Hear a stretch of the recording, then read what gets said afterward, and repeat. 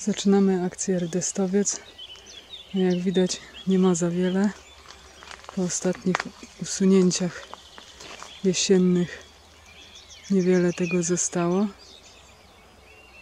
No ale trzeba powalczyć. Ciężko się było przedostać, bo chaszcze już zarosły. To zabieram się za wyrywanie. Później pokażę jak resztę zrobić. Miejsce oczyszczone. Trochę się trzeba było narobić. Jak widać, teren to jest takie, można powiedzieć, wysypisko. Nie zamknięte jeszcze po obuwiach, o zakładzie obuwniczym. I tak to tu zostaje. Fajne miejsce, fajne ten, no ale nic nie zrobimy. Tak to zniszczą mi tak, znając wszystkich. Teraz mamy tutaj tak przygotowane na kupie wszystko. Dokładnie zebrane, nic już nie zostało.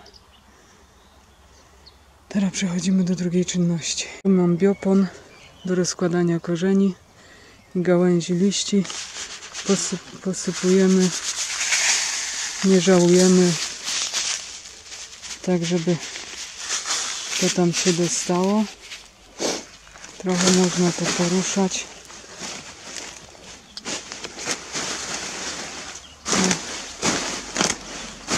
Przygnieść. Jeszcze trochę sypać. Tak. Tu mamy zrobione.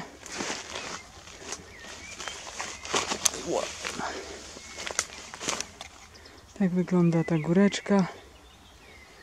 I teraz można jeszcze poszukać miejsca, gdzie zostały grube korzenie. To trzeba uważać akurat tu w tym miejscu. Ło. I tutaj mamy taki korzeń. Można mu tam przy nim dosypać tego. No się tam potem rozłoży. Trochę wleciało do niego. Tutaj. Jeszcze gdzieś było jedno takie miejsce.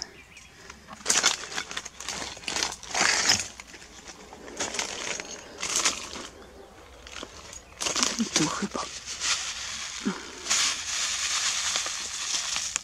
Tak w ogóle to można nawet posypać całe to miejsce, gdzie żeśmy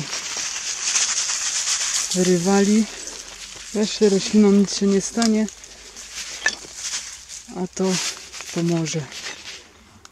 W tej chwili jest to już wyczyszczone i jesienią kolejna kontrola.